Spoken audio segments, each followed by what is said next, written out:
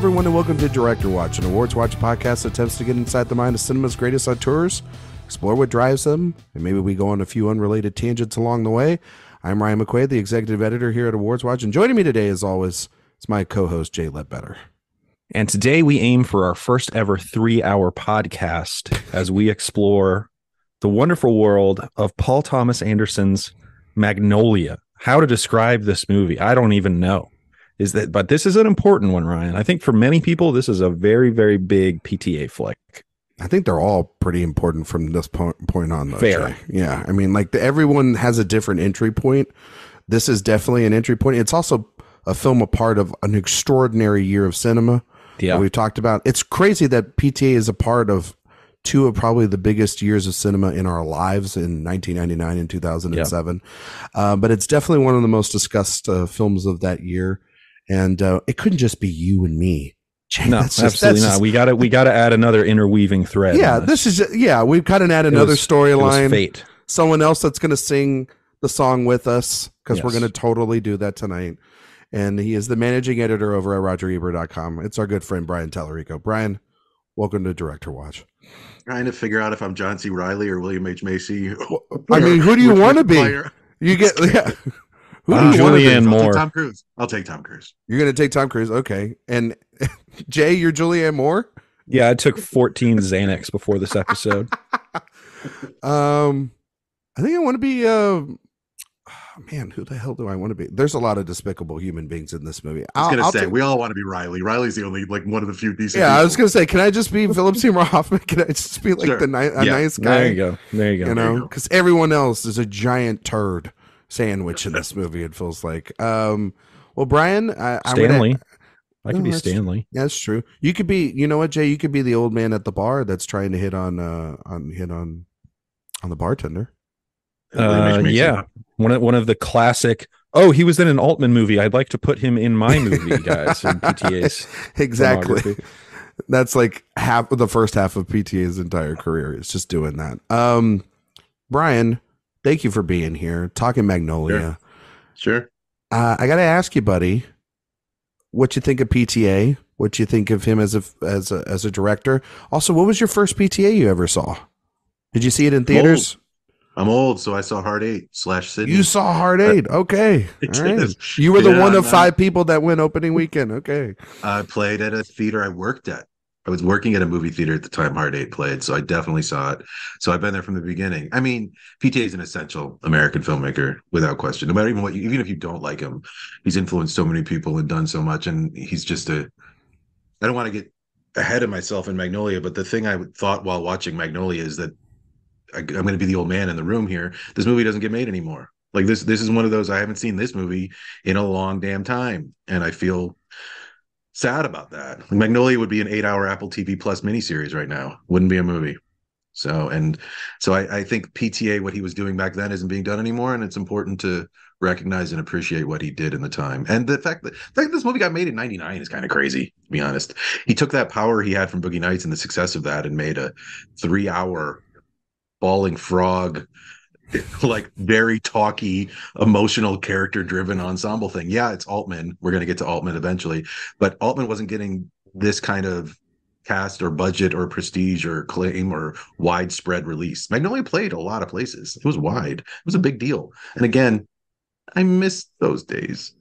Yeah. So I mean, it's like a fifty million dollar box office. I mean, yeah, it was made on thirty seven, but thirty seven million dollars to make a three hour um, grief epic. I guess the biggest could- star in the world. Yeah, with yeah, with the biggest su- one of the biggest Right. superstars of the time, and still, What? what's comparable recently? I can't even think of anything. Everything's I mean, high concept hook now. I mean, don't Like, look give up. me a- I mean, obviously, it's right there. It's right there. No, I mean, know they, what you're the talking thing. about, hon- Brian. honestly, the thing I was thinking about a little bit, although it was made for much less money, was "Beau is Afraid" was the only thing that I was like, "Here's a That's concept. completely." Super high concept, like almost like a surreal nightmare. This is two people like John C. Reilly and Melora Walters sitting and talking at a bar about the problems of their Sure. lives.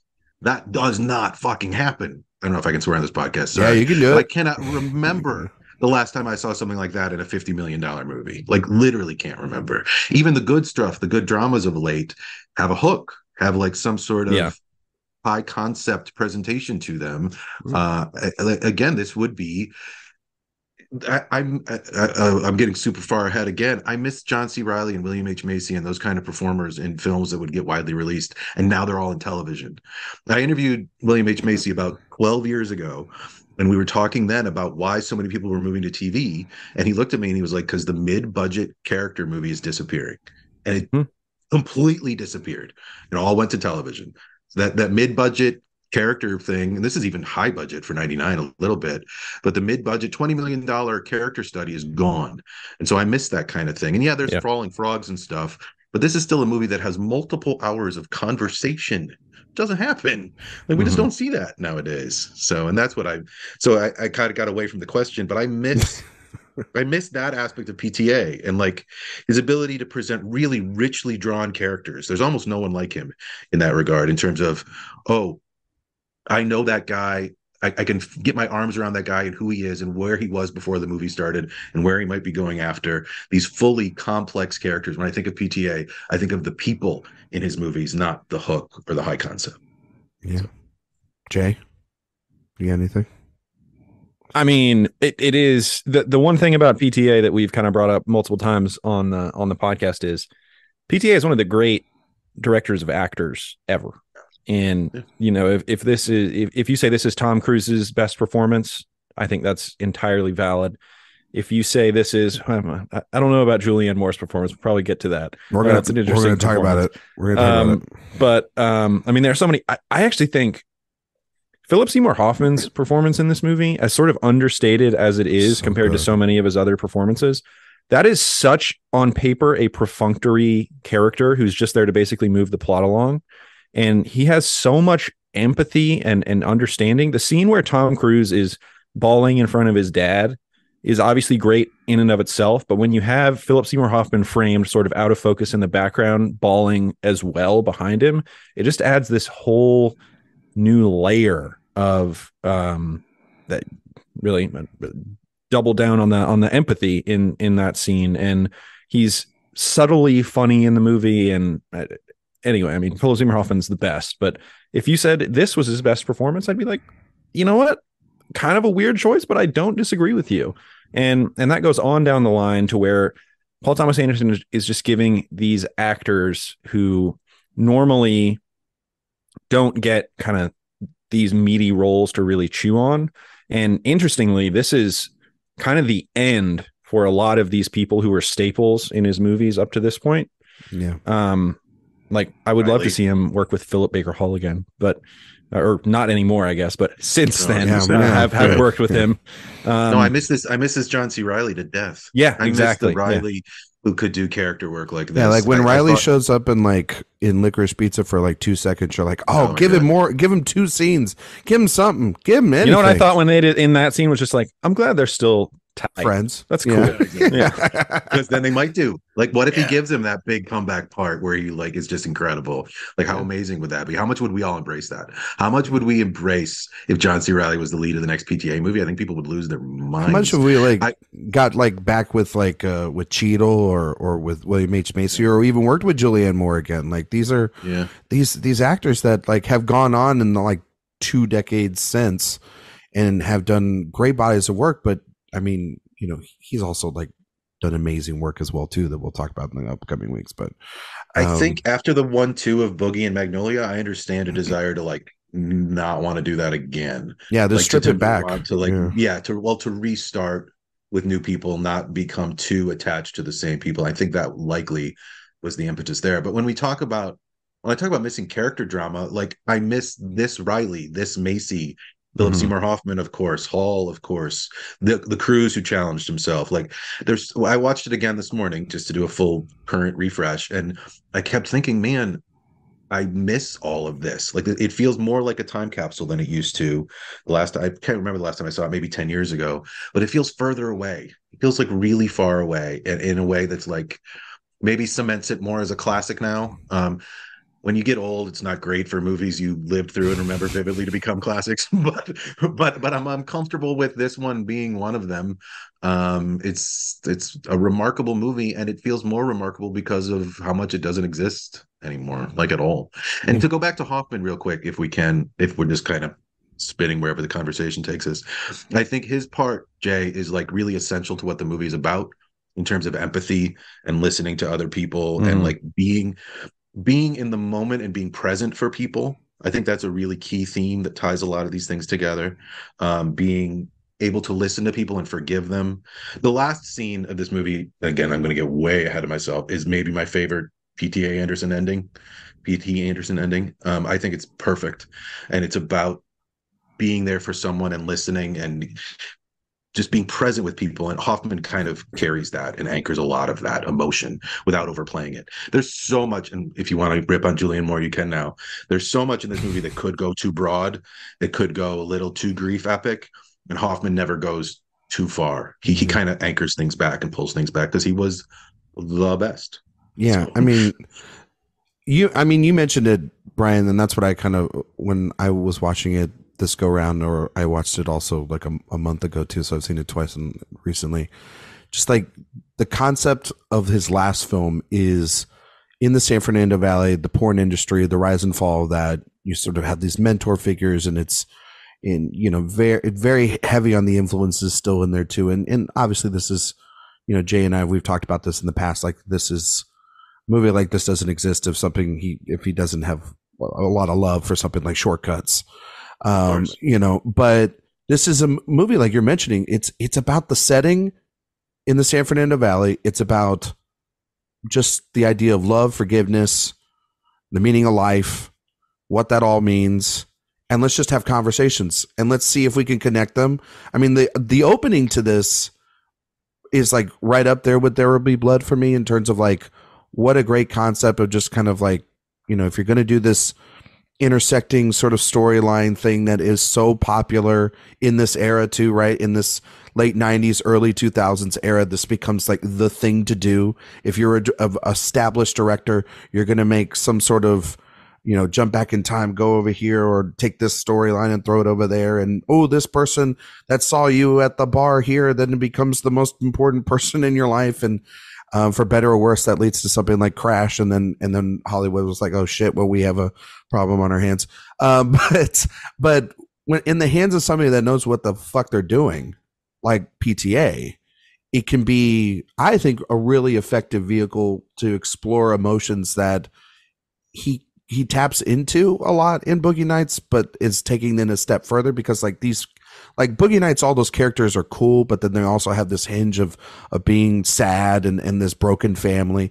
In this movie, like so many of these characters, like we mentioned, they're super sad and they're super, it's super moody. But then when they're together at the end, it's you're you're like, thank God these weirdos have each other in these moments where literally it's raining frogs from the sky, and I I, I love all the little moments more than just the big moments because I think that's that's the thing that they got the publicity or or gets people in the door. It's like the frogs and you know and Tom Cruise and you know you know seduce and destroy and all that stuff. Like I think that gets in there. But then the movie for me is like Philip Baker Hall and Jason Robards. These two veteran actors that one uh, that PTA had worked with uh, for a bunch, but then also Robards, who I think is just absolutely incredible in this movie. Just steals it, and that's the thing that I think I miss I more Robards. is having an actor like that we don't have actors like that anymore that just, for me, consistently just, it's as a year after, this is a year before he dies, is willing to go still there at the late, late stages of their life and yeah. give you just this massive empathy machine for a person in the descriptions of his own account is a giant regretful piece of shit to his family and has created essentially a sexist toxic monster in his son played by Tom Cruise. And so I think that that's that to me is is really interesting in, to, in terms of also then Philip Baker Hall the generational trauma mm-hmm. that is that is taking place in this and that it's it's the the wheel it's always turning and and uh, and, and all those themes in the film I think are, are truly fascinating. But Jay, I know you watched it today. You said you yeah. had some, you had thoughts. He texted me earlier, Brian. He said, I have thoughts on this movie. I didn't, and I asked good or bad, and he just said thoughts. So I'm curious what those thoughts are. So I'm going to treat my intro here the same way that Paul Thomas Anderson kind of treated this movie and really indulge myself for a minute and uh, just talk about kind of my journey with this movie because it is kind of an, an interesting one. I think I first saw this movie senior year of high school, maybe freshman year of college. And I remember I took a, a film class in college, and I think our first assignment was write about a scene that that just like pick a scene in a movie that you really appreciate and write about it. And I wrote about the raining frog scene in Magnolia. And I mean, I remember watching Magnolia for the first time and just thinking, I really love the sensation I felt when I watched that frog sequence. Uh, it, sure. It's just kind of like nothing I'd ever seen before. I'm not sure I fully understand it, but just the feeling of watching it and the the swell of emotion that you feel in that moment, I thought was like a really important experience for me as far as my movie going uh, what was concerned. And I remember writing this thing, I was like, wow, I really knocked this out of the park. And then uh, my professor came back and was like, this is a very complicated scene. Um, I don't think you fully nailed it, but you know, I appreciate that you appreciate it. And I was like, hmm, okay, all right. So I got to figure this out more. Got it. Okay. So I kind of use that as the impetus for starting my online film writing. My first sort of movie blog was called rainingfrogsreviews.com. Awesome. Which um, any any SEO consultant would have been like, that is one of the, the all-time worst names you could do for a movie website. Um, but that was sort of the start of this critical thinking film journey that I've been on ever since then.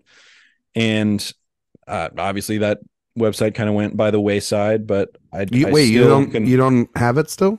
No, still does not exist. That that yeah. actually you Looks can like buy that name on tonight, GoDaddy folks. or whatever. yeah, um, we're stealing something tonight. I'll tell you that. Yeah, but it. um, it, I I still considered it kind of a hallmark movie for me. And then I'll tell you what happened was I watched Short Cuts like five years ago for the first time, and Short Cuts is now one of my five or ten favorite movies ever. And then when I went and rewatched Magnolia after Shortcuts, I was like what an absolute hack job this is. Like I was like, it's still really good. I like it a lot, but it's too similar. And I think I honestly think watching those movies so close together is sort of unfair to Magnolia. But that was the last time I watched it. It was immediately in the shadow of um, Short Cuts, and I, I I was sort of lower on it than I had previously been. And then I watched it today, and I think being more clear of Short Cuts and also having what I often refer to as the I'm a dad now bump. Uh, this this this thing really hit me hard. Uh, I I was I'm back on the like like Brian said. This is a classic train. Just the the swelling and swelling and swelling emotionally that this movie has that culminates in that final half hour uh, of just pure cinematic perfection really. I mean it, it, as far as emotionally affecting half hours of movies it it rarely gets better than the ending of magnolia. And yes it's indulgent. I've, I've been reading the the adam nayman um, pta book. The way that he described it was a movie made without a delete button which i thought was a very apt way of of describing it. Um, but it it is a movie that I appreciate on such an intense level in so many ways that I'm willing to overlook some of the kind of overwrought uh, elements of the film, and also a lot of the melodrama. I kind of appreciated more this time, and also one thing I loved watching it this time more than I ever had before was how this movie tells you how to watch it, and and I thought that was a really effective tool. Um, and also I appreciated watching this movie from the point of view of yes this is a person making a movie like this when he was 30 or whatever. And i think putting yourself in the mindset of being that age and trying to unpack these feelings uh, makes it even a little more powerful main distinction I would make between this and Short Cuts is what you're getting at now, which is the indulgent emotions. Like Altman never played in this kind of what you'd call melodramatic register. Yes. As much as I love Short Cuts and as much as I love Altman, he's a much more distant filmmaker than mm. Anderson when it comes to character, and so that's why, yeah, they're they're both L.A. patchworks, but I feel like they're completely different tonally. Like, do you know what I mean? Like, they're both like they're both trying to. I guess they're getting at connections, but like Altman would never drop frogs from the sky, and he would never have Tom Cruise crying at the side of a bed. No, like, there's just so much more indulgence than the naturalism that Altman went for. So that's where I feel like the distinction is strongest. What I really love about Magnolia this time this morning when I watched it was I'm not sure, and I want to get your guys' opinion where it lands on the divide between what Ricky Jay says and basically what the kid says. The kid when the frogs are falling says these things happen or something along those lines. Strange mm-hmm. things just happen. Is it a film about how random things happen or a film like ricky jay argues in narration twice i might add where these things are intentionally like this is not a coincidence he says. This is this is this is fate for lack of a better word. Um, i'm not sure where it comes down on that. The first time i saw it my memory of it is the kid with the shadows of the frogs that it's a movie about mm-hmm. randomness you can be living your life and a frog will fall from the sky, or you'll lose your gun, or you'll run into someone at a bar. And then it's a movie about random events. But then you've got a voiceover that multiple times says, no, it's not random.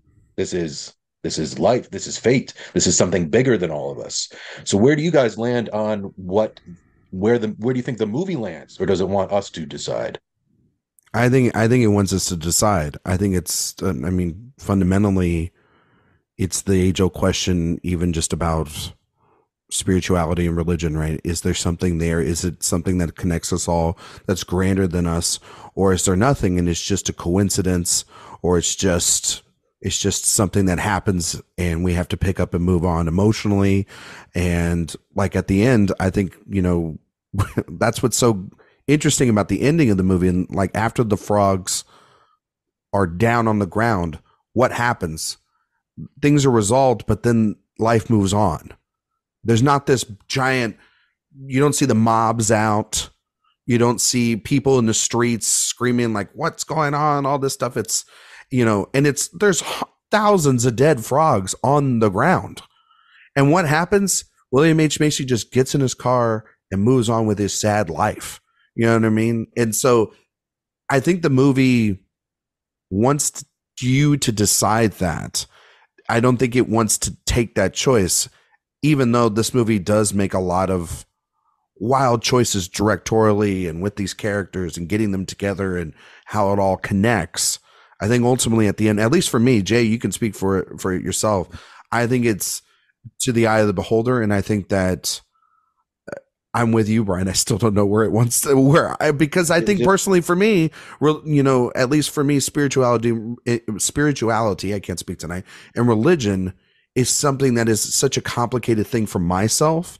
So the yeah. idea, so the idea of fully believing that this is all connected and that somebody's pulling the puppet strings is a little too much for me. But the other part of me goes, well, this can't all be crazy that I saw this guy here and this guy here, and then none of that works together. But I, you know, maybe the beginning of the movie, which is so great, it does explain that as as as such that all of this is connected. Like this guy with the black, like with the the Patton Oswalt scene, the blackjack dealer that screws over the guy, but then he's got a job to do, but then he scoops him up and then and then he's dead in a tree and you're like and then that guy kills himself because of all the grief surrounding all that is that a coincidence? Is that way. we know that, right? What? The opening stuff is true. The the, the thing yeah, about yeah, the yeah. dude falling, yeah, yeah, all yeah. that stuff's true. Yeah, yeah, yeah. But is that but is that a coincidence? Is that terrible luck? You know what I mean? Is is that planned? Know. Who knows? And I think I think PTA is asking those. I I think it's an incidence of a young man, relatively young man, trying to decide himself if he's pro mm-hmm. or anti fate, if he believes that there's some greater scheme to all of this, and asking Ricky Jay to offered some opinions and then and then leaving us with that wonderful smile at the end. That smile that's like hey that yes. looks right where melora looks right at the camera and is like hey i'm happy you're happy let's all go just live our lives. Yeah. and that's all we can do is be happy and listen to Aimee Mann. Exactly. Jay? And if you yeah and if you want to really draw the line between the uh, Short Cuts and magnolia the difference is Short Cuts ends with abusers being absolved of their evil through an act of God.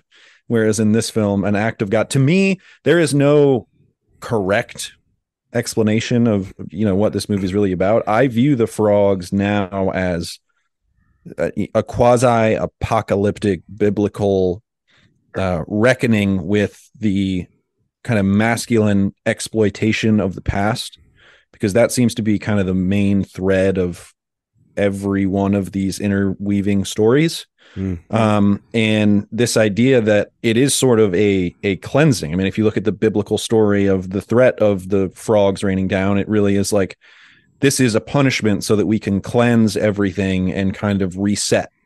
And there is a reset going on. And then what does stanley say afterwards? He says you have to be nicer to me which is sort of very simply what this movie is about it is a very indulgent narratively complicated emotionally complex film that really boils down to what if dads were nicer to their kids um, and so yeah. I, I I think it is just really metaphorical, obviously biblical uh, metaphor for a redemption arc for fatherhood as we're approaching 2000. I mean, this is firmly implanted in the uh, Y2K masculine crisis. Yes.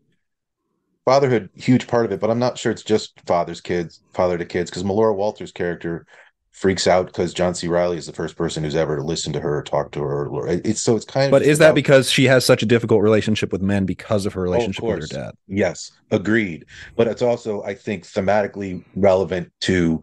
Uh, uh, John C. Reilly is just, it, it's about listening to other people, just being mm-hmm. there for other people and listening to what they have to say, whether it's your kid, primarily your kid. You're right about father being a key part, but also just being present for people instead of being uh, trying to search and destroy for lack of a better phrase being present yeah. for people in the room and not trying to push them on a stage so they piss their pants or overpower them with your personality like your Tom Cruise or whatever or, or and also being present for yourself. There's a lot of characters in this movie who like finally come to terms with their own shit or the shit their parents gave them. So being and so then tying that into the theme of fate and destiny i mean i think the idea is we can only be present for ourselves because frogs might fall from the sky tomorrow. Like there's no there's nothing more we can do with it. Like i do think fate is a key and destiny is a key part of this but i think he's trying to say be there for yourself and be there for other people because you never know what's going to happen tomorrow like none of it is promised you might get hit by a frog i mean it feels it feels like just a massive tool for empathy like have yes. empathy of course. You know what I mean? Yeah. And and I mean it goes down the line for every character in here. The search or the the the finding of empathy for every single and one forgiveness. of them. Yes. Forgiveness. I mean like yeah, not forgiveness. Necessarily, yeah. Not necessarily awful father characters, forgiveness of yourself. Like yeah, Donnie I mean, William H. Macy needs to forgive himself. TJ Mackey needs to forgive himself. Julianne Moore needs to forgive herself. Yes. You know what I mean? Yeah, and I mean that's explained pretty explicitly with the John C. Reilly monologue at the end through the lens yes. of policing which I think yes. is a good sort of encapsulation I mean, of Philip Baker Hall is essentially of, going from his wife and his daughter asking for forgiveness, knowing that death is knocking at the door. You know what I mean? It's, I mean, it's it's not going to change till you wise up. Is like yeah. Wise up about yourself and your life yeah. and where you are, and become aware of. And that's the that song is a key turning point in the movie where these characters do become smarter because they pay attention to themselves and their own feelings. We're so trained, especially in the '90s, to like tamp down our feelings and be TJ Mackey, who's not a feeling at all. He's just a presence. He's just a personality. And this movie, I think, is PT. And also, of course, Boogie Nights is about larger than life personalities. So PT Anderson made a movie about as as broad and crazy as it is, is really just about sitting on the edge of somebody's bed and talking to them until they smile and look at the camera. Like, I mean, that's where it ends. It lands in a very personal, quiet moment where where PT Anderson drops down the volume of what Reilly's saying, mm-hmm. focuses only on the person hearing, not the person talking. It's just a close up of Melora Walters, which I think is such an incredible choice. We hear the music more than we hear what Reilly is saying. Uh, so we're focused on a face, we're focused on a person, and then that face looks directly at us and smiles. Like it's just such a really powerful. This is it. This this human interaction, this human emotion doesn't need words, could maybe use some music, but it's literally just this is all we got, and that's where he lands his movie, and I think it's one of his best endings. Yeah, really. For some reason, I can't. I, am trying to explain it. I'm not sure I'm doing a good job, but no, you're doing great, ending, man. Yeah, you're doing that good. ending is one of his best in terms Mhm. of like, I get it all now. Well, I'm he's not just even a- sure what he- I get. He's just the master of a of an ending, though. He's Yeah, he's got yeah. great. Well, that's what I think. It's it's the cleansing. It's the reset. It's Yes. like okay, I am sort of absolving every one of their sins in this moment Yeah. and right. realizing that I am capable of happiness. Right. She she never she barely I'm not sure she smiles one other time in the movie. And she looks directly at us and smiles. And I I hadn't seen this movie in 10 years and I remembered that smile. Mhm. There's something about that shot, that final shot that really sticks with me. It's one of my favorite in his entire history, his entire career. when we- the when the credits started i did i did rewind and go back and turn the subtitles on to see what to see if they did Yeah. put uh subtitles for the john c reilly dialogue and they did and it's Yeah. super mundane unimportant dialogue but it's just this idea of someone speaking to her with some Really? sort of admiration and uh, love that just completely reorients her perspective on everything she also does Right. so much cocaine in this movie i don't know what a lot of cocaine is but i feel like that is a lot of cocaine Yes. I mean, I mean, a lot of cocaine is also what happens at Boogie Nights too. They do a lot of That's cocaine in that movie as well That's too. true. Um, speaking of a lot of cocaine, she did a lot in Boogie Nights. Uh, Jay, you want to talk about Julianne Moore? Yeah, Julian. I mean, uh, th- th- We, there this is. is a debate we've had, you and I, for a long, long time about this performance. I, I will say this: I was a much bigger fan of of her performance this time than than I have been. I Good. have thought Good. occasionally that her her performance in this is an absolute disaster. I definitely did not think that this time. I think I appreciated more of the melodrama in this movie. Yeah. uh, this time around. And I think some of that came from the fact that, again, you have Philip Seymour Hoffman saying stuff like, "This is the part in the movie where you help me out," or Right. um, Right. this this idea of this heightened um, storytelling, which is really just that's what making movies is about. I mean, this takes it to kind of another level, but it is this idea that we're not going to most of the time we're not going to tell you the boring stuff that happened we're Right. going to tell you the really interesting stuff that happens and this is taking it to kind of a maximalist level. And so when you have julianne moore giving kind of a maximalist performance in this movie i think it does kind of tie things together. And also i think it is a halfway decent representation of this uh pharmaceutical haze that that people can get into. Um I agree. again i think it's heightened um but but julianne moore is is pretty good at that so ryan i'm sorry to disappoint i think it's it's Good. pretty pretty good Good. I mean, imagine Call me imagine lady? reading this. Imagine reading this script, like all the different melodramatic beats in this thing, like all the grief points, all the bullet points of characters. Yeah. Is it any wonder she brought melodrama? Like No. she went for the, she went for the ceiling in a few scenes, and uh, I will say, even this time watching it again this morning, she doesn't make the biggest impact on me from this film either way. Yeah. So I, I think she's fine, but she's not the the face or the character I remember. no, she's just, she's just got that great monologue that I love at the Yeah. drugstore, which is just incredible. And you call me lady You call me lady. I do. I come here. I give you these things. Like I, I, I, have still sickness. I, I don't know I- if I'm supposed to kind of laugh at some of that, but I, I, I- I, it's I so- definitely I think so. I think Yeah. so so. over the top. I think Yeah. also though it's a person that is just like for me this time watching it just just on basic level, not camp, not how it's been taken by the internet or whatever. Just as the character, I felt exactly what she was feeling in that moment because we would all be like, "Why the fuck are you asking me questions?" he was asking some this. very inappropriate It's like, questions. Come on, Pat. Like seriously, why are you asking me all these questions? Wow, this is a lot of stuff. Yeah, this, What's going on? and he kept saying that like multiple times. At a certain point, you'd be like, "Motherfucker, just shut up!" Like, it's not even for me. Like, I'm not going to have a party. And it, if you reach a certain point, and I found her, I found there her part of that storyline to be just, at least up until like the car stuff, and and then she goes to the hospital Yeah. and everything. I think the first half of it is just really good because, Yeah. for the most part, it almost felt like weirdly this quasi continuation of the Amber Jack connection and relationship that they had in Boogie Nights, where it is this older man and it is this woman, and it's almost the the flip of this where she is with this older man and she's with him for the money. But as he's gotten sick, as they've talked less and less, right? Because they don't even have a line of dialogue together or or really a, a conversation, right?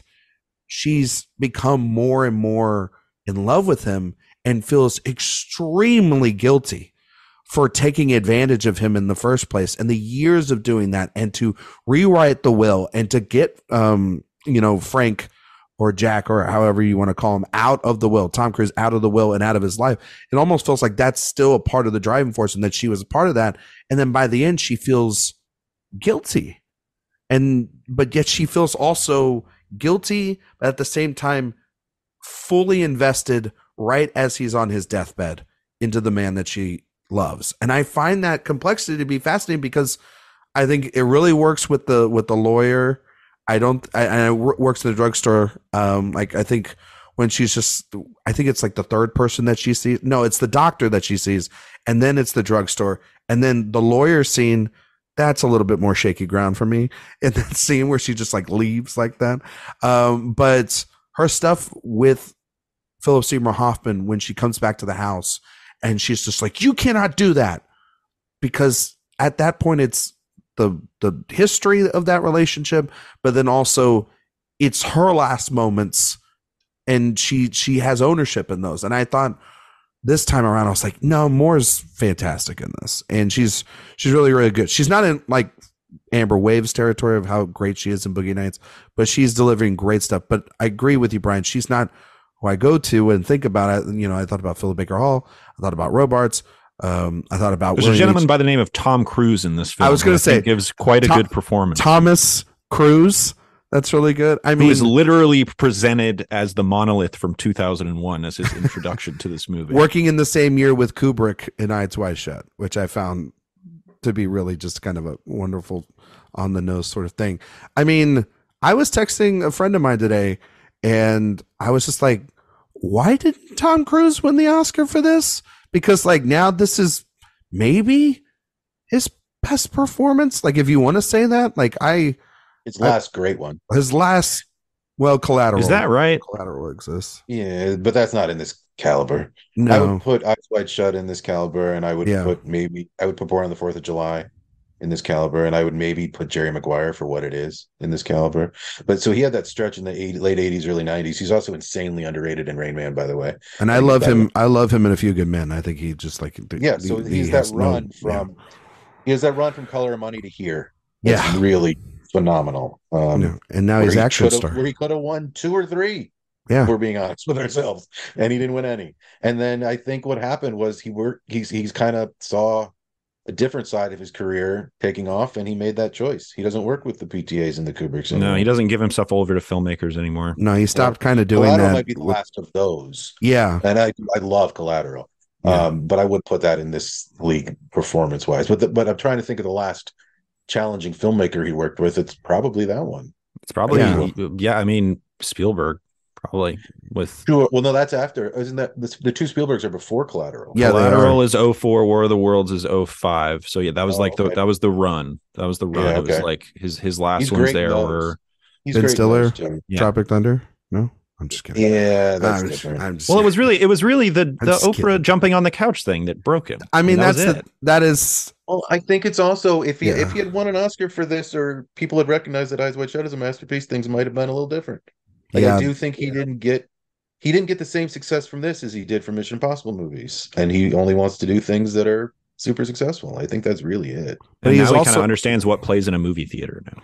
Yeah. yeah, but I think also too he's he's making things that he knows that he's like the only one that could is one of the only people left that can get uh, something like that made, and those are yeah. They are completely oh. his creation. He makes Tom you know Cruise I mean? movies now. Yeah, and I I love them, but I also yeah. miss when he worked with Kubrick and Stone. And oh, I know. I mean, I mean, there was that rumor a couple years ago that he was potentially uh, the Cliff Booth, um, like oh, Tarantino oh, yeah. wrote that uh, role. No, no, it was a third guy, wasn't it? It was a. It was originally going to be, or maybe it was guys. like a three guy, a third guy. Yeah. I well, I mean, it just makes sense for him to to play like the yeah. stuntman. Tom but Cruise like he was, was definitely supposed to be in Once Upon a Time in Hollywood. Yeah, and initially early on, and I think that that would have been like, oh my god, like, Is that a good? Oh my god! love Or yeah, exactly. it's a right? Who doesn't want to? He would chew the scenery out of a Tarantino movie, and also those are two populist people that should work together. That that makes total sense. That's a marriage of a film. But the problem is, it's almost like the Will Smith and, and like Django Unchained thing. Does Tom Cruise is he willing to give over a lot of the control to a filmmaker anymore? And he certainly was here in Yeah. this in this era. He's the auteur of his movies now. yes. now.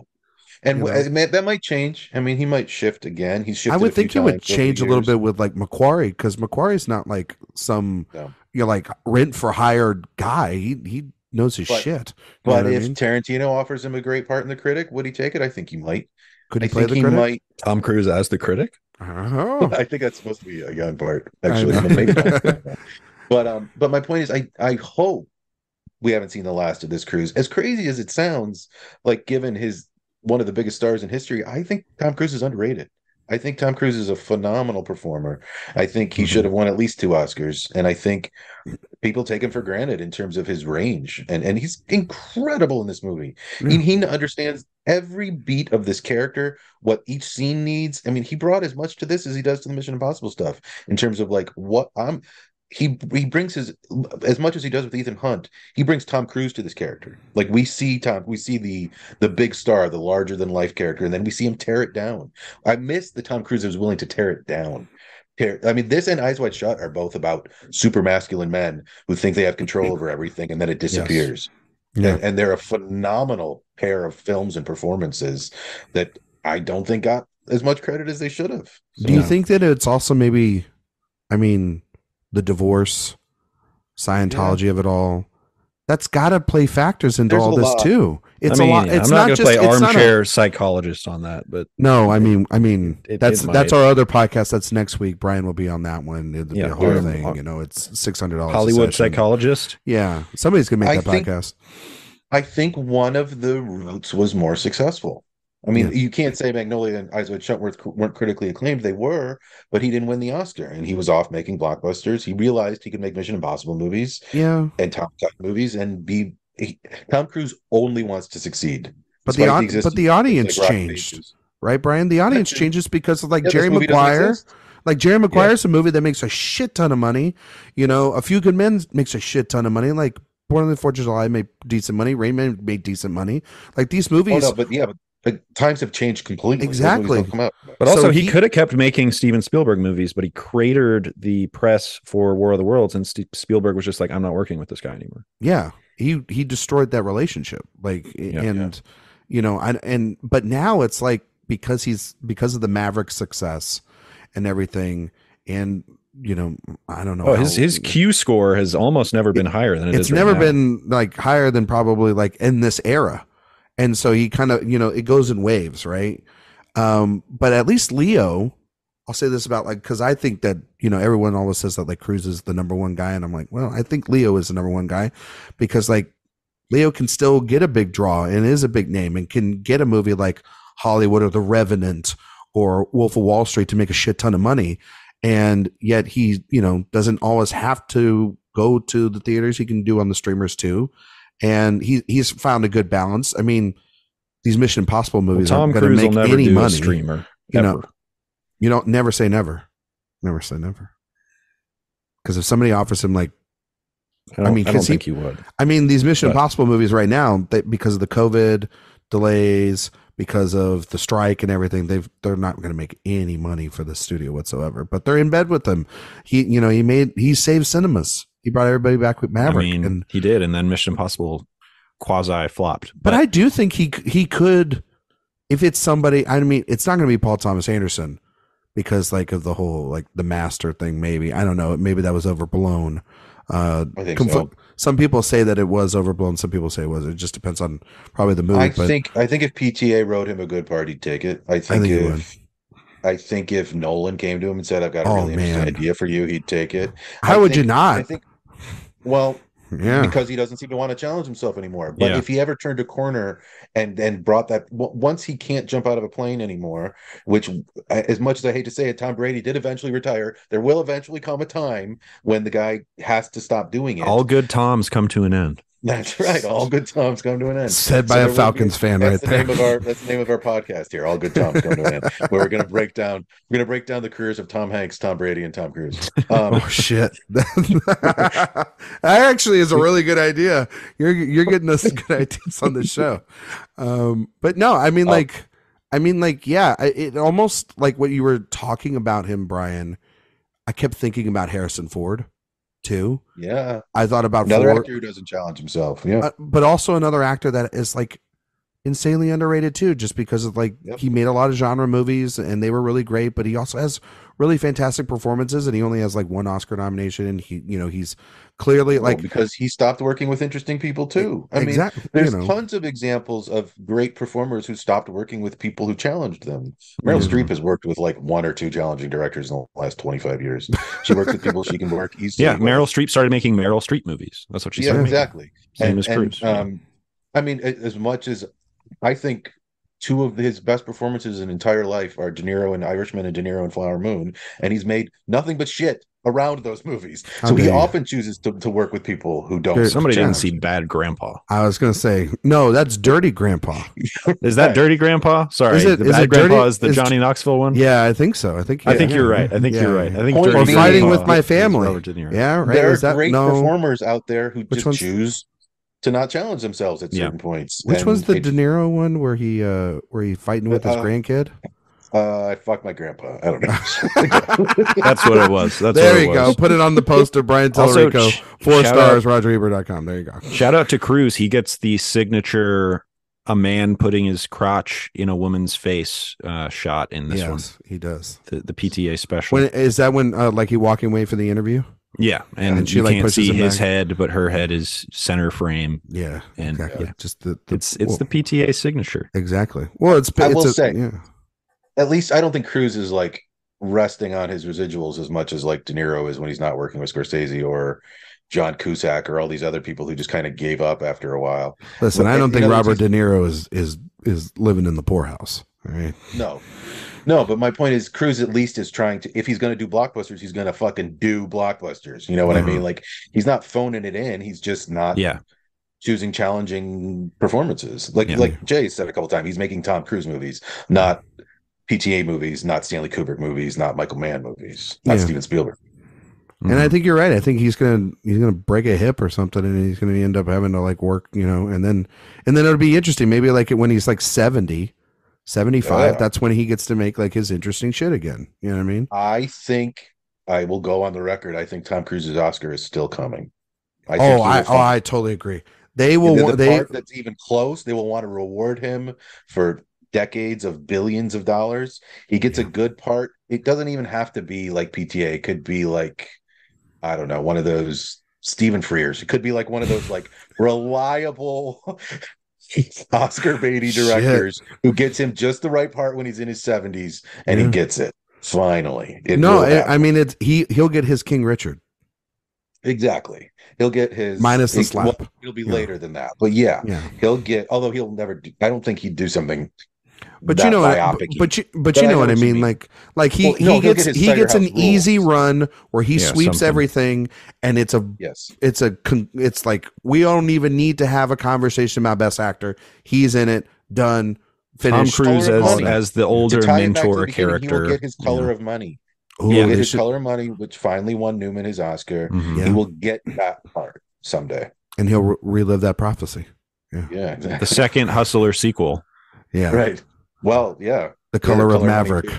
Yeah, it's actually a yeah the cover the color of Bitcoin. uh, but no, I think he's. I think he- no. In all honesty, I think he's fantastic. I think that the, the part itself, the way it's written, it's fucking absurd and insane. It's it of all the characters, yes, it is the completely over the top character, but it's written that way because of hiding all those insecurities that you're talking about, Jay.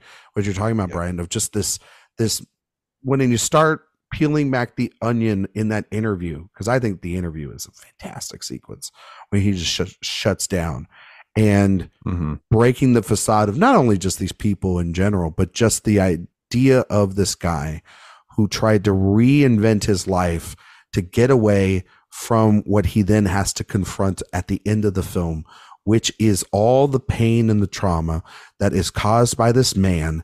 And this man at the same time is narrating a huge chunk of this film. Um, it feels like that middle in that middle section of just what he did to get to this point to the meet by the end. And I just, every time Cruise goes, I'm not to cry for you, you son of a bitch. I just, it just works. It's so good. And yeah. I, and I don't, and I agree. I just don't, that's why every time you say, yeah, I mean, talk about an Oscar clip. Yeah. I mean, like, it, that's I the mean, thing. It's the like, you watch it and you go, I know that's there it's still there and somebody can tap into it and that's why i think we always talk about the promise or the or the idea of Cruise going back to something like this because yeah. He is that good he is one of the best actors on the planet when he is given the material to do so it's not just about jumping out of a helicopter and everything it is about like you're mentioning brian this movie two people maybe three in a room talking about their feelings Yep. And that is something that he refuses to do.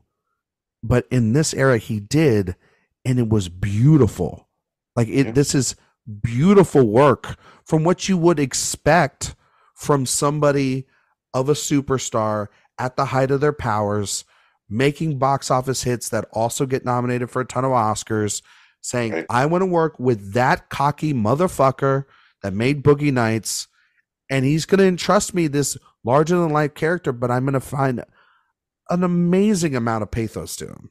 And I just and and and and I I think, yeah, it, I think it is his best performance. You know, one of my favorite line readings of his is in the movie at the end after he's been frazzled from the interview, mm. and he's in that how to f- fake like you are nice and caring part. Right. And he's talking about like what women think of men. And I think it's just a flub, but he just goes, They say we are heinous. And then he pauses and then just goes, heinous. I, I just think that's such an interesting little thing in the movie. I assume it was just a mistake, but I don't think so. I think because uh, I, I read it as he doesn't he's the kind of guy who uses words he doesn't know what they mean and he, or he doesn't know how to pronounce them.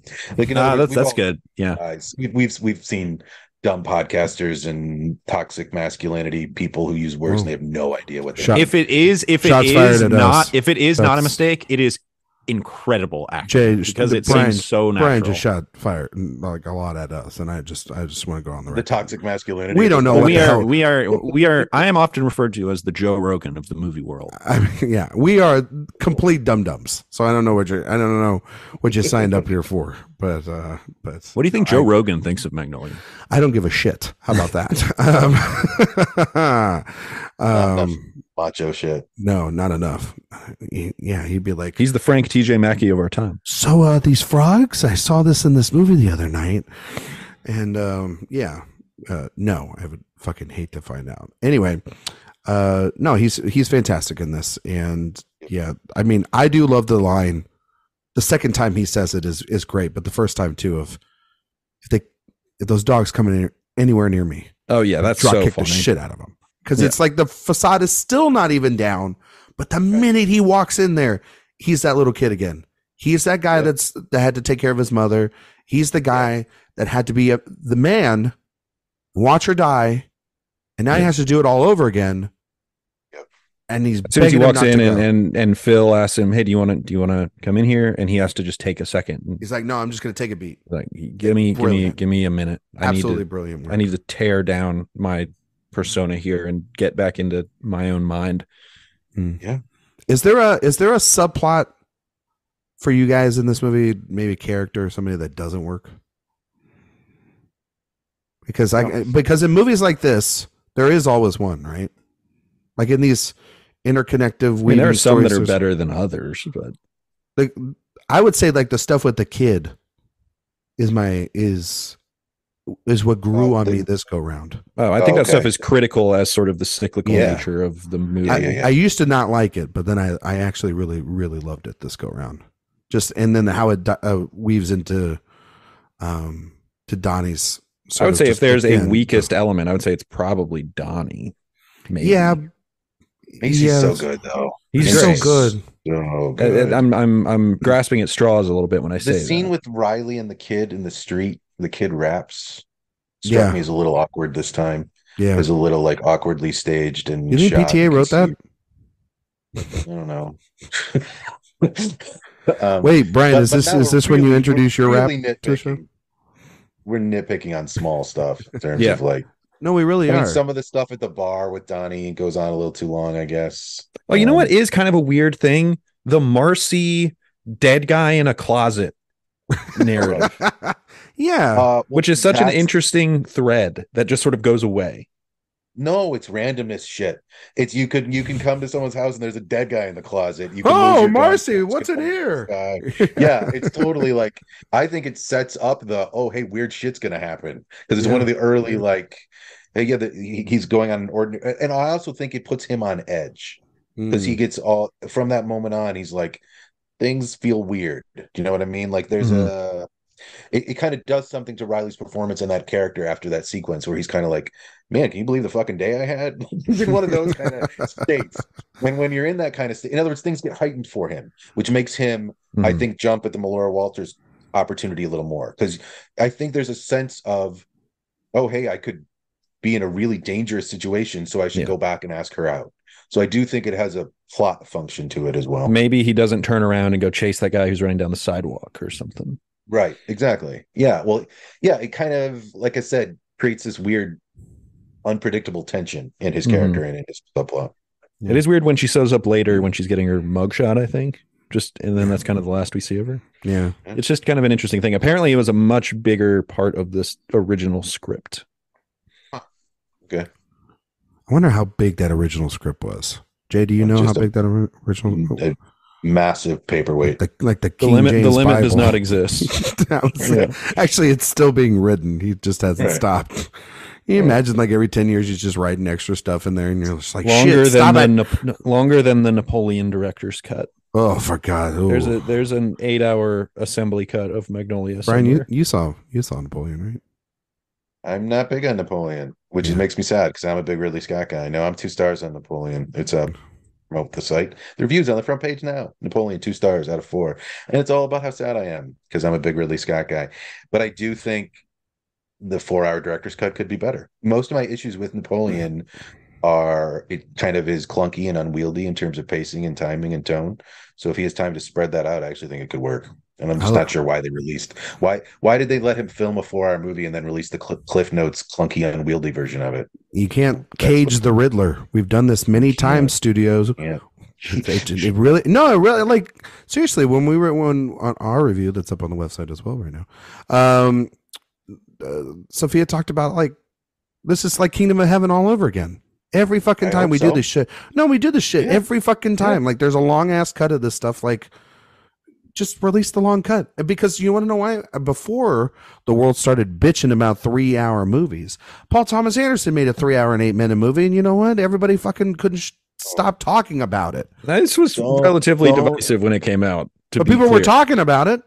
They Don't weren't saying, started "Oh, on it's." long movie discourse. Don't. I will lose my mind. I will go insane. But you know, but you know what I'm saying? Is it's like, Well, we This got Punch Drunk almost- Glove coming up right after this. yeah. So, So you know, pretty brief episode actually. Robert is only going to be on there for like five minutes, but um, is that the, the length of the episode is, is tied to the length of the film? Yeah. No, I, Percentage I'll get on my wise? soapbox for 10 seconds and say everyone who complains about the length of Killers of the Flower Moon watches 10 hours of Stranger Things in a weekend and doesn't say a goddamn word about it. And I lose my mind. Like, no, just shut up. Shut up. Shut Yeah. up. I agree because This one doesn't feel three hours and six minutes or whatever it is remotely. it's very propulsive. It's very It's propulsive. very, especially for such a talky film. Same Like with most same with Boogie films Nights. Yeah. Those are, Yeah, that's he's- two he's got- forty. I mean, that's the thing of all of his movies. None of them feel long. Like there's a momentum to every single one of them that is just ridiculous. Um, and one of his incredible skill sets is pacing, it's rhythm. Yeah. It's it's it's the timing of his films. But but it's so interesting that Boogie Nights is so much fun for half of the movie, and this is just a, Yeah. about a bunch of sad sacks, and it's still yeah. it's about a bunch of sad sacks, but yet you can't just like help but like just be on the edge of your seat and just like Yeah. you know when he drops the the you know the the ne- needle drops or he's going all the different stories that are going like everything's so interesting, so it invites you in. It's not it's not fun and alluring as like going to the party at Jack's house in the backyard, but it is as interesting as anything that's in that movie because you're just like, damn, all these characters, they're so sad. Why are they sad? Why did they get to this point? Like you, and then the the opening of this movie invites you in to try to understand then the puzzle that he's putting together and yeah. and try to form an opinion. Like this movie is not I mean, it, it does spoon feeds a lot of things to the audience, but by the end, it's like, okay, I've done enough of the work for you. You need to figure the rest of this shit out by yourself, and I and I appreciate that because it goes back to his patience in making the film, but then also just allowing that to then uh, like the audience to take this in on this journey. I think I think the prologue also very much sets up expect the unexpected. Yeah. Which keeps you going. In other words, some dude might fall out of a plane or get shot while they're trying to commit suicide or or hey we might break into a musical number for an Aimee Mann song or drop frogs from this guy like there's a yeah. sense mm-hmm. one of the propulsive elements of it is while it's so talky you know something weird's going to happen you yeah. don't have yes exactly it does feel like a crescendo or yeah. or a, yeah where it is just leading up to something you don't right. know what it is and I will say in that in that name and book again, and this might be just me being an idiot and not ever really realizing this before, but the prologue all three of those things are about people falling from the sky, which I think is interesting. You've got oh, people who are getting hung. You have the guy who is dropping from the plane, and then you have the guy who's jumping off the roof.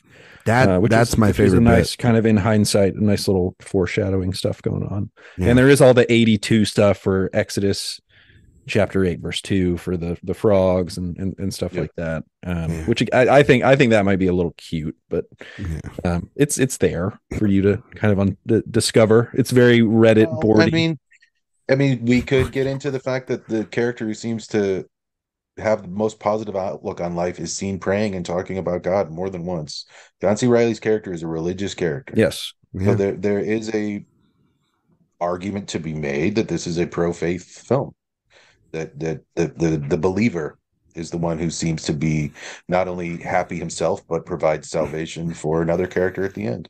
I mean, he's he's no he's notorious for his. I mean, a couple of films that we'll talk about in the next couple of weeks, just exploring faith and exploring the the the, the complexities of that, whether it's whether it's Christianity or whether it's something else. You know what I mean? Right.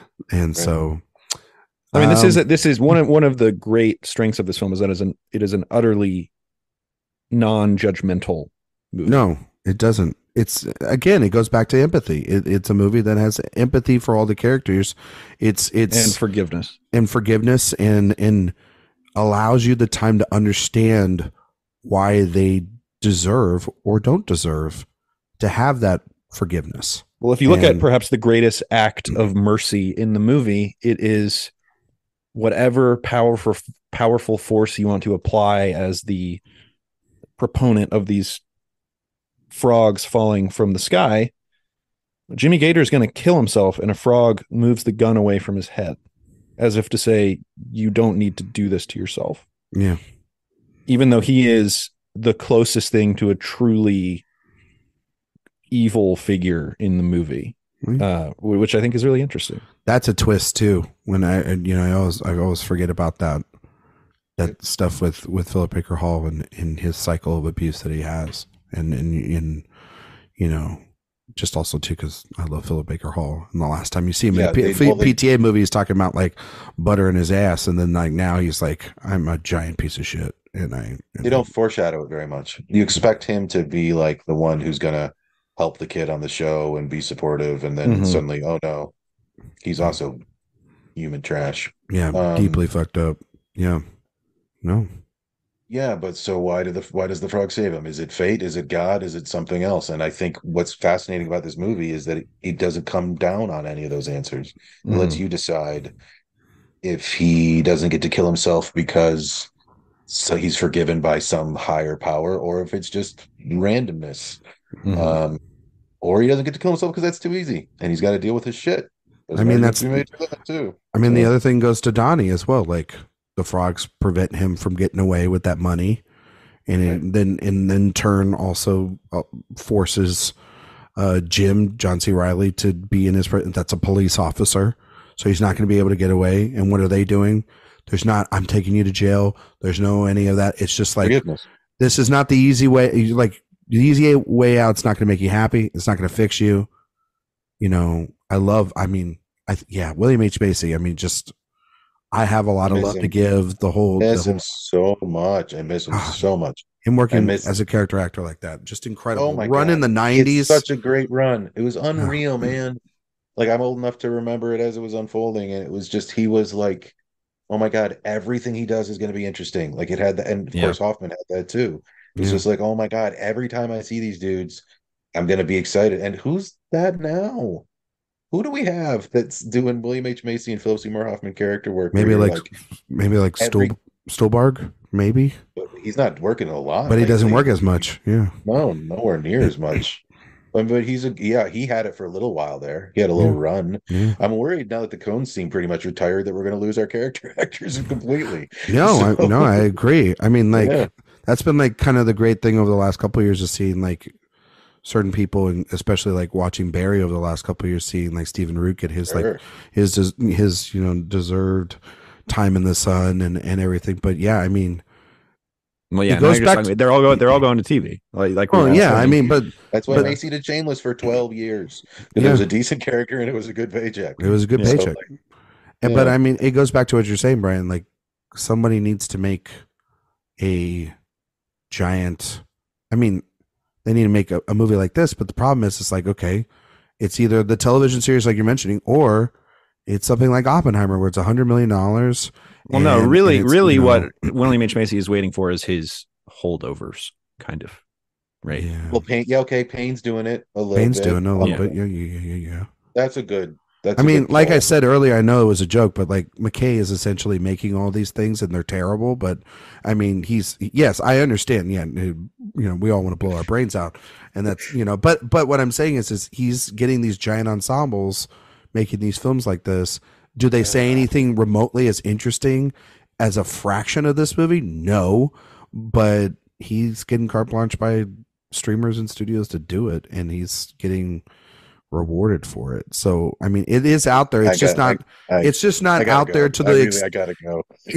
but it's It not. to the was extent pretty that- awesome. I mean, Ryan, Ryan. To be fair, when Adam McKay told me the global warming is actually bad, That is true. I didn't That was know. powerful. I mean, you didn't that know was that, potent. and I and What about what about when he told you Dick Cheney was a piece of shit? Like we didn't know that before. See, I, I never- used to think he was like a pretty cool guy. Yeah, I thought I'd go hunting with him a little bit. Like I didn't. I didn't think it was. Oh. Remember when he, like se- he seemed chill. Remember when they had that scene where they were like, Yeah. "Oh, we're gonna do a heart transplant," and there was nothing inside there because he's a heartless remember bastard. when remember when that movie got nominated for Best Picture and I screamed loudly. into the void, and that Into void was void. what blew up the world at the end of. oh my god! if we've landed on Adam McKay as the current PTA, no, I'm not Of- saying that. I'm just saying like you're talking you can about get movies. movies made with a, a strong character Yeah. actor character cast. Yeah, yeah, he's got Tarantino, Tarantino for maybe sure. Payne. I mean, and, I would uh, love to see because he hasn't done it in a long, long time. I mean, like I guess like Licorice Pizza is kind of the closest thing we've Oh, yeah. had to it since. Sure. But I would like to see something along the lines of like him find the new character actors or find the actors of this generation. You know, Licorice Pizza was that, but Yeah. that's a few years ago now. There are It's been a guys that can do it. There's like ten. There's like ten people that can do it. Fincher Yeah. could do it if he wanted to. well, Fincher easily could do that. That's Uh, what Zodiac is. You know, Yeah, but Zodiac's 15 years, old now. I know it yeah, is. 16. Yeah. Um, I guess he could, yeah, in his own way, in the darker register. I mean, Gone of- Gone Girl is is that. Yeah. Although that movie's kind of older now too. But I mean, like that's the thing is is projects on the horizon. I don't know what they are, man. I'm getting scared. I'm no, no. We also sound like a bunch of old men on on like the porch. Oh, they don't I make them like I- they used I- to. I'll, I'll, I'll tell you what. Avengers has got a lot of great character actors in it. Yeah, They're all trapped in there. Yep. Uh, and then even I hate to be this guy, and even in TV, it's disappearing. Oh, and Wes Bar- Anderson, Barry's obviously. done. Saul is done. Oh, Wes Anderson can do it. That's Wes yeah. Anderson can give character actors juicy parts when he wants to. That's a like- good pull. Yeah, because like Jeffrey Wright goes into Asteroid City, has like one one scene, and he rocks the house. Or Tilda Swinton has a scene, rocks the house. Yeah, good pull, Jay. That's actually really good. Yeah. I'm scrolling through my Letterboxd. Yeah, he's just he's just finding people right now. He's just Yeah, okay. I'm gonna look at my top of the year. I get so like far, Robert Eggers is doing that. I mean, like Northwood's kind of you know he's grabbing a bunch of people. I don't know. Uh, He's going that's very Nosferatu. kind Maybe of cinema. I don't know. Just trying. I'm just trying to get somebody new. Maybe that maybe we're all wrong. I mean, Character driven, does, character driven dramas. um, something like Air count that came out this year? Like, Uh, me no, it's too high concept. Too it's high like true concept? story-ish kind of thing. yeah. I mean, I love all of us strangers. I don't know if you guys have seen that. I that's a very that different kind of Yeah. thing, but that's character driven. I mean, Damien That's Chazelle like- made a Boogie Nights ripoff. yeah, but it wasn't good. Good. No, Babylon's good. Yes, but he could get that kind of thing done. Yeah, he could. He could though. get a Magnolia done. He Yeah. could. yeah. It would be bad, but he could get that. Oh God, I don't want to see that. I don't want to see that movie. I already All right, had we to sit go. there. We're gonna get in trouble real soon. The McKay people and the Chazelle. Yeah, they're all gonna be like these fucking assholes. Do But you I would say have- the uh, Yeah. the Magnolia Magnolia probably doesn't get made if Pulp Fiction doesn't kind of build a runway for these interweaving narrative stories but that were Boogie so popular for a decade. but he's got Boogie Nights too. That's why it gets made too. I know, but it's sort of it's a culmination of kind of everything. Yeah, but Uh, but it's not just Pulp Fiction. It's the whole Soderbergh Smith giving giving auteurs. Oh their yeah, for sure, for of sure. The '90s, yeah, Uh, independent yeah. cinema movement. yeah. Yeah, yeah. Do you guys got anything Fargo. else? Fargo yeah, Fargo. leads Yeah. Yeah. the Coens are probably a big part of this as well huge. too. Yeah, Do you guys got anything else you want to talk about uh, for Magnolia? Before we I miss Aimee Mann. I think her work here on the soundtrack is phenomenal. Oh, it's and I love. I fantastic. listened to the soundtrack all the time back in '99. Do you own it on Like- CD? I do. I still have it on CD. In fact, I know where it is. Oh, My kid's been going through my old CD collection. oh, and I saw it nice, nice. Yeah. Yeah, Uh, yeah. You know, you can't listen to. Wise Up on Spotify. It's not available. What? Really? Yeah, it's like grayed out on the soundtrack. Why? Why the hell? I don't know. It's really weird because I, I wanted to listen to it after I watched it. Yeah, and uh, Son of a although my favorite song in in the movie is "Save Me" at the end. I mean, I think Yeah. it's just so That's a great song to So walk powerful out at the end. Yeah, That's just a great beautiful song. you Uh, know. Grayed out on the soundtrack, but it's on like her greatest hits and other shit, so you can listen to it. Yeah, Jay. Ah, But it's not trying on the soundtrack. trying to which get is his- weird. Excuse me. Sorry, I was just startled. I was like, "How is that possible?" It is weird that you can't. If you try, That's listen really the weird. soundtrack, Though, it's going to skip that song. That's That is bizarre. Yeah. So okay. Well, All right, you learn something new every day. you That's what I learn. You learn. Good job, Spotify. Fix your shit. Evidently. Shout out Uh, Jason Robards. I just love Yes, that guy. a legend, a legend. He, And I uh, mean, lots of legends gone in here. Hall, Hoffman. I, I don't just miss this Reilly and this. It's the kinda I all the legends in this movie who are gone. Yeah, Yeah. they're all gone. what's the best? What's the best Robards? Oh, um, What's what's, it peak called? The one he won the won the Oscar, the drunk one. Thousand Clowns. My Watch favorite Clowns. Robards is uh have y'all seen the Ballad of Cable Hogue, the Sam Peckinpah movie? Mhm. I love yeah. that movie. He's so good, good in one. that. Thousand Clowns Anyway. is good. I love. Love I, Robards. I He's love also him great in uh, Melvin and Howard, which is a movie that PTA Yeah, he's great in that. He's great in Melvin and Howard. Yeah, He's also. He's also just. I mean, he's my favorite editor. He's um. uh, well, uh, He's all the President's Men. Yeah, I just love him in that movie so much. He's just so fucking good. He just just comes Oh, in yeah, there All the and President's fucking Man knows. is a good one. God, I love. uh, We don't. I mean, I know that we Pat Garrett have Billy movie. The kid, I know we have. Oh yeah, he's really good. Pat Garrett Billy the Kid. Cable Hogue. God, what a great actor. Once Upon a Time in the West. Yeah, how about a little Yeah. movie called Once Upon a Time in the West? of the Ever West. heard of it? Yeah. Yeah, just a little bit, a little bit. I've heard it, of it a little bit. He's actually got it like um, he's got that those couple of scenes in Philadelphia too that are really good. Yeah. Yeah, oh, Yeah. later on. Tony I love- Scott got him for a couple there. Yeah, T. Scott. Yes, Crimson Tide. Crimson Tide. Yeah. Yeah, incredible. No, he was a legend. stuff. One of those actors who was just like always present in everything he did. Like you never felt forced. He, No. he was a character again. To tie it all up, he was a character actor. He I mean, created characters, and I miss that kind of acting. Yeah. going to be the old man who just misses even the movies I love this year. I love. I mean, my tops are like Oppenheimer, of course, and um, Flower Moon and Zone of Interest. They're all high concept movies. They're not Mhm. character driven movies. They're not about Well, they've got some great performances. They've got great performances in them, but they're about spectacle more than they're about character. yeah, I guess, I guess so. But I will say, I, I mean, Oppie does feel like a hundred million dollar, like the closest thing you get to that. I mean, like it is centered around that giant performance, and it's it's Sure. it's it's like this person walks in, this person walks in, this person walks in, this person walks in, and they all have their moments. You know what Oh. I mean? And Yeah, Yeah. in terms of like giving people interesting things to do, character work. yeah, Yes, it's got that. Yeah, I agree with that. I that. mean, it's building And- to and that honestly- historic moment. You know what I mean? But you know, Speaking of characters in that movie, uh, Benny Safdie could do some interesting stuff for characters. Thinking if the creators, the Safdie brothers, could do some really interesting characters. they could because they love PTA. They Oh, uh, love Baumbach. they- Well, Baumbach they're they're they're they're split up too. now. The for Safdies. now. Yeah, Yeah. they're not. Yeah, they're not Pull the sharing. Coens. They're not sharing Thanksgiving meals anymore. It's real sad. I'm sure that they're Wow. doing. I'm sure that they'll get back together if they. I will also say again, I kind of said this in uh, when we reviewed Boogie Nights, but Melora Walters is kind of one of the great underrated PTA weapons. Damn. Yeah. She's should've she's so stuff. good, and she's so good in this. Um, Yeah. And she obviously that that final shot is kind of the indelible image of the movie, and it's all her. me, yeah, she's great. Yeah. I miss her. I miss her too. everybody. Getting old. Don't get old. Don't get old. Listen, Brian, you're not that old. You're making us all look bad. Um, Jay, Yes, sir. before we get out of here, we're going to test your award season knowledge based on the film we just reviewed, which was Magnolia. Yeah. In a segment, Brian, we like to call It's an Honor to Get Nominated. Now, this is where we try to see if my good friend here, Jay Ledbetter, uh, knows anything about the Academy Awards at all, and seeing if Jay was Magnolia nominated for any Academy Awards.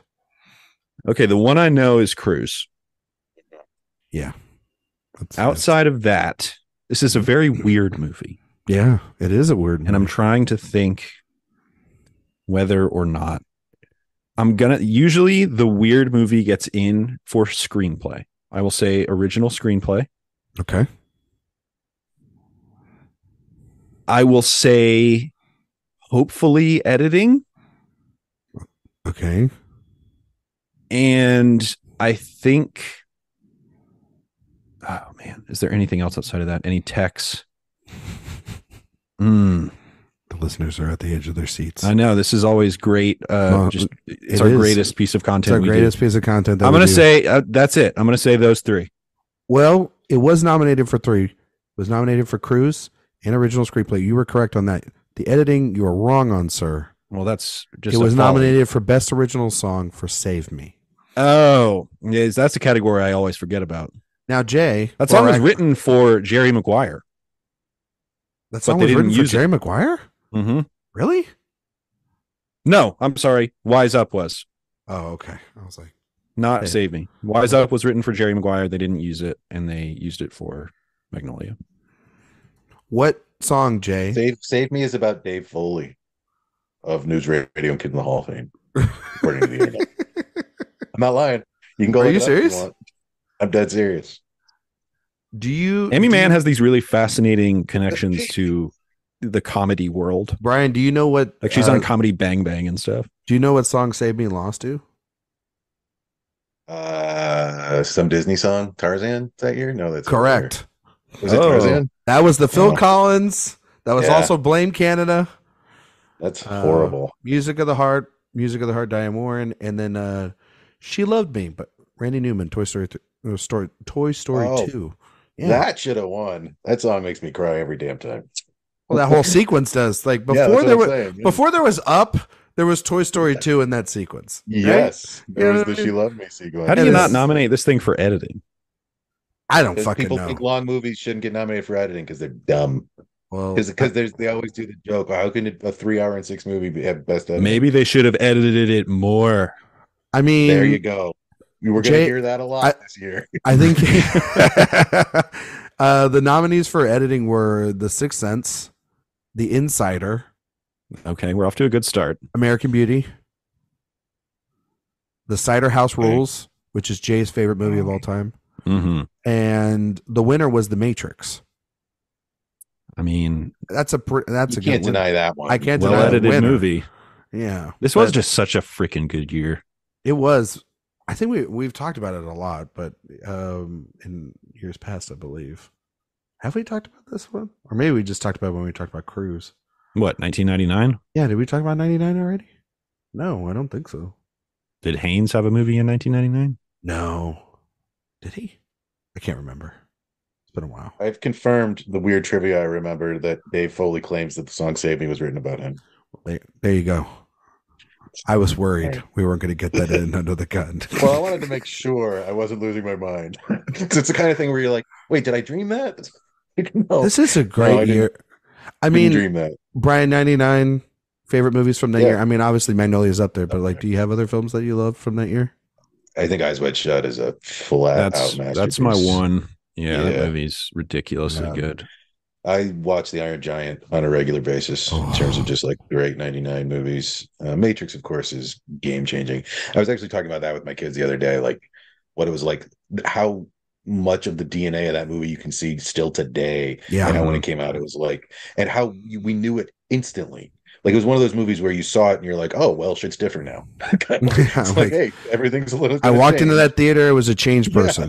Person. It reminds me of that any like certain movies in my childhood. It reminds me of that scene in Mad Men where Ham has his son and they go see Planet of the Apes, and they Yeah. feel like they're the like the DNA of them is forever changed, and so they end up buying a ticket and they go see it again.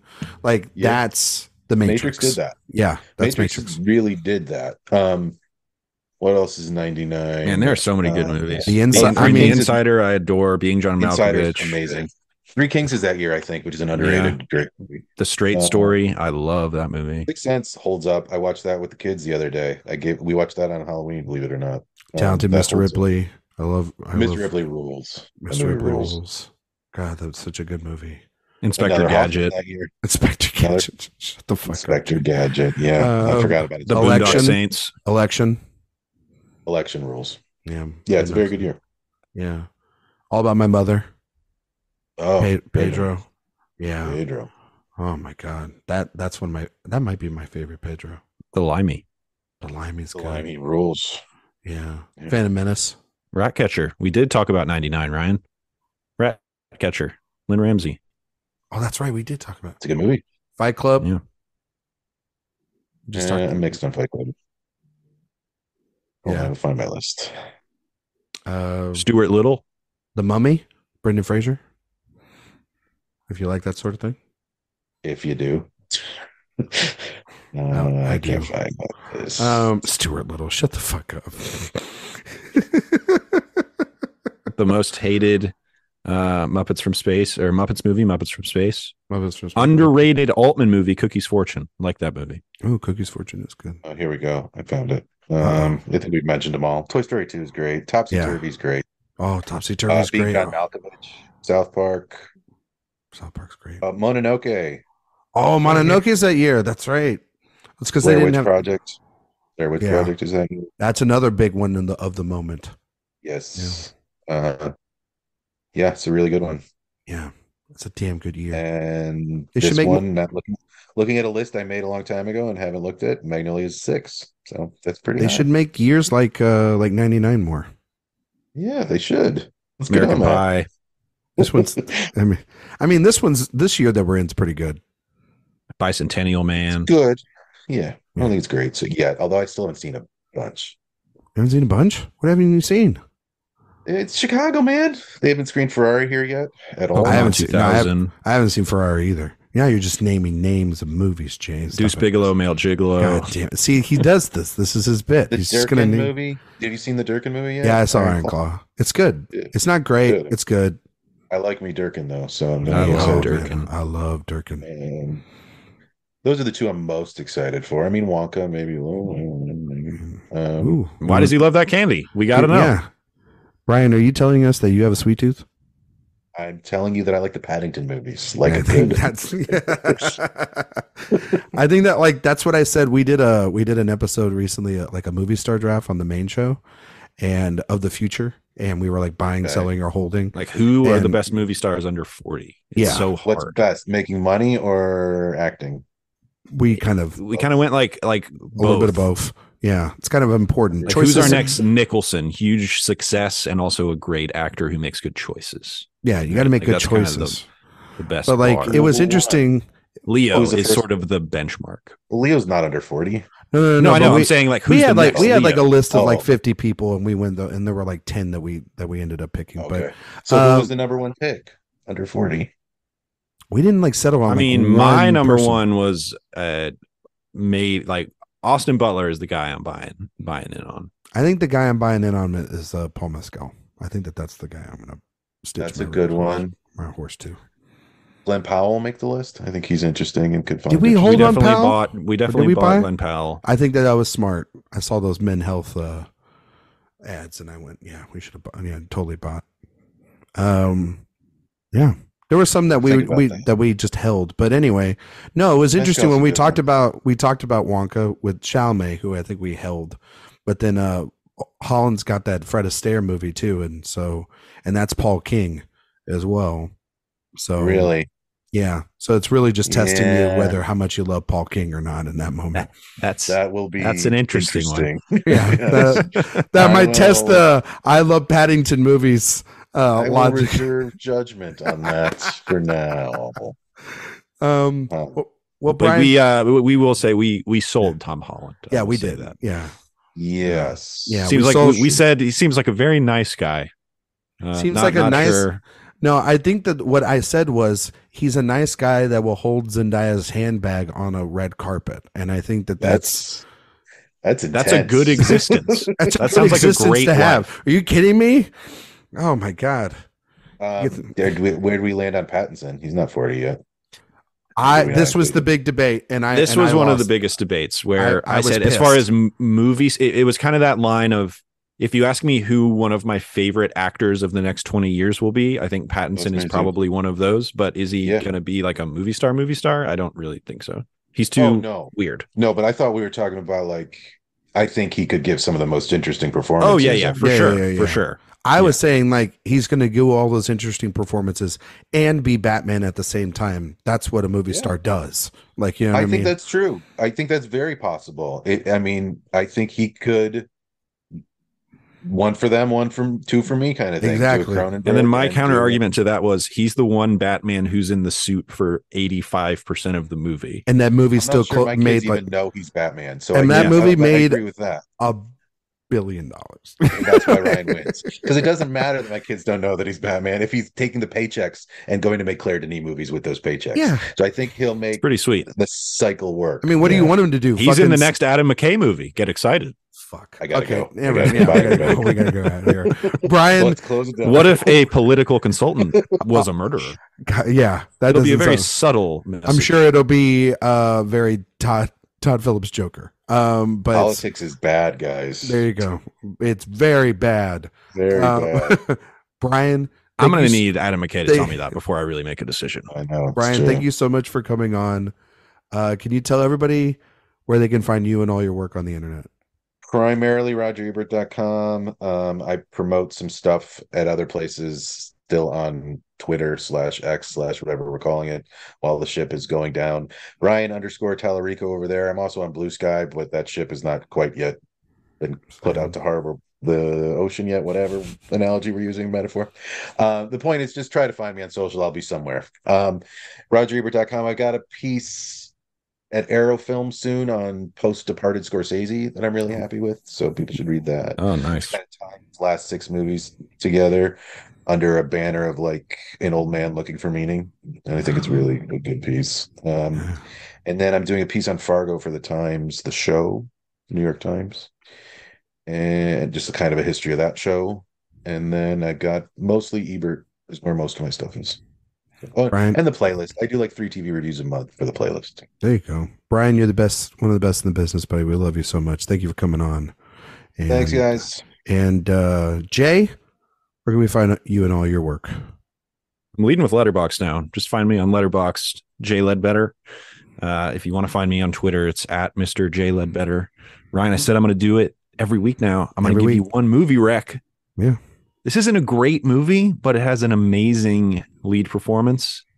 The Burial on Amazon. Oh, with Jamie Oh, yeah, Jamie wanna Foxx. see that. Foxx absolutely rocks the house in that movie. Uh, Crazy so, underrated actor Jamie Foxx. I think Jamie Foxx Yeah. rules. So I'm excited to see that next time. yeah. He's he's so good in They Clone Tyrone. Just a ton of fun. Yes, in he that. Jamie Foxx great Foxx in in it. the that's, a, that's a PTA fun movie. Jamie Yeah. Foxx in a PTA movie win. That I be- would love it. That would be I think it's famous. I was arguing about someone with someone about this the other day because they were. I was said he was underrated, and they're like he's super famous. I'm like, yeah, no one really takes him seriously. Like his range No. is insane. I think it's because he's well, like he's so he's so a talent- like, comedian and you a see musician. him do the impression of Trump and stuff, and it's like, what yeah, can't this guy do? He can Yeah. sing, he that's can dance. that's what I'm saying. I'm like, yeah, he's a household name, but I think people underappreciate his range of ability. I, I really like him, and I do. want Good call. Good reminder. At the burial, I have not seen yet. I do want to see that. yeah. You get is a great low. it's like a crowd pleasing and I, I had a really good time with it it's not gonna make your best of the year list or anything i don't think but honestly Foxx might make my like top 10 Cool. lead performances of the year maybe Yeah. i think He he's made awesome for me for Tyrone. Believe it or not, I think Mhm. that movie's fun. He's really gotta- that. I gotta watch both. I'm behind. Yeah, I'm not- This is the uh, the time of the year where you get to catch up on little gems that That's that you Yep. didn't get to that's catch what I'm up. trying to do. Too catch up on amazon movies days. that always get buried well, I mean, Yeah. the title I of that never movie I never is. caught up with Air. Gotta do that. You haven't seen Air? No, I never got around. Did you leave South by before you do. Air premiered? I did. It was, it was like I left the day before. No, no. Brian and I were at South by for all you. spoiler there. alert brian they signed michael jordan Oh, never God. heard of him. Damn I it, gotta Jay! Fucking spoiling shit on as this a, podcast. as, as a chicago guy i'm not sure if he's really familiar so Never heard of him. All right. All right, uh, you can you can find me on Twitter, Instagram, Letterboxd at Ryan McQuade 77. You can find all my work at awardswatch.com, other various places on the internet as well. Uh, if you like podcasts, you can go over and listen to the main show. That's uh, one that we release every Monday. Uh, if you like this podcast and that one, you can give us five stars on uh, iTunes or Spotify um and just uh oh while you're over on the website sign up for the newsletter. You can get all of our great stuff. We've got a ton of interviews ton of reviews ton of podcasts all the different stuff news everything you want. Gets sent out to you two times a week. Eric really likes doing it. We'd really appreciate it if you signed up for it. And next week we will be back. We will be talking about punch drunk love and we will have a great friend and uh colleague of brian's. We will be having the great Robert Daniels on to talk about that film with Yeah. us. So it's gonna be Thank- good it's gonna be good. Thank you all so much for listening, and we'll see you all next time.